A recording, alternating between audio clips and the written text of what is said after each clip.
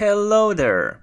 If you're using your Quest 2 for more than 2 hours per session, this video is for you. Usually Quest 2 can give us 2 hours of battery life without charging, sometimes even less if we use a wireless streaming and 120Hz refresh rate. Unfortunately, the default charger with a short cable is not enough to charge and play at the same time. But don't worry, it is possible, just follow the steps in this video.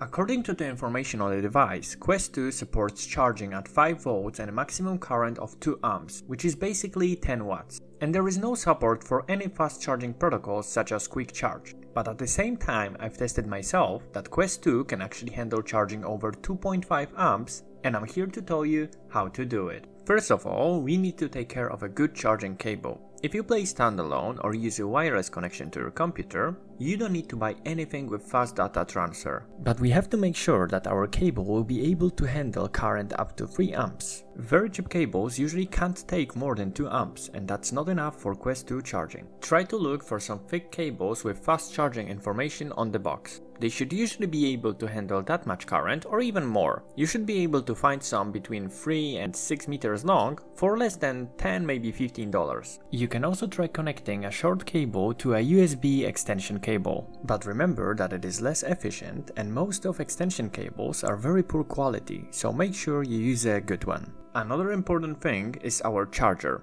As I mentioned before, Quest 2 does not support fast charging, but one particular feature of Quick Charge protocol allows us to charge unsupported devices faster than regular chargers. In short, when using a long cable to charge 5 volts device, the voltage at the end of the cable to which the device is connected will actually be lower than 5 volts, and the reason for this is the voltage drop related to resistance of the cable. To compensate for this lost voltage, Quick Charge uses a slightly higher voltage, let's say 6 volts, so we still have a clean 5 volts at the end of the cable to charge our device. Simple, right?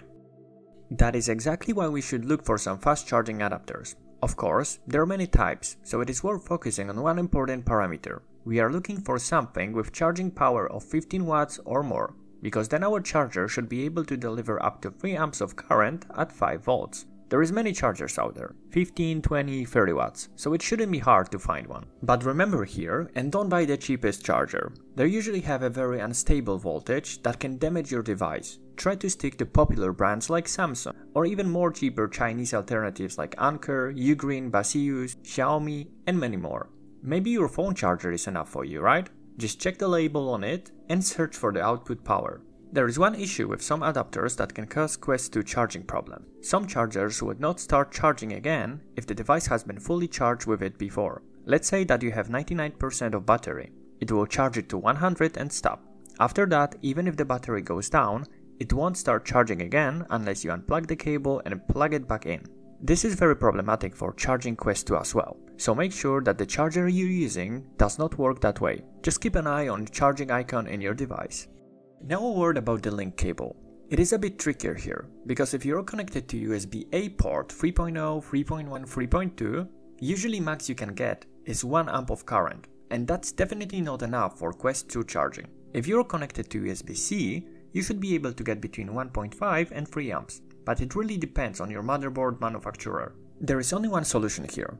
You can find cables with two USB connectors on the PC side. One goes to the computer and the other to the charger, there are many brands selling these cables, and you should be able to get one for less than $40. But maybe you should just buy a better Wi-Fi router and switch to wireless PCVR instead. I really recommend it, but it's up to you. That's all for now. If you have any questions related to the video, feel free to ask in the comment section down below. Thank you for watching, don't forget to comment, like and subscribe, see you soon in the future videos. Bye!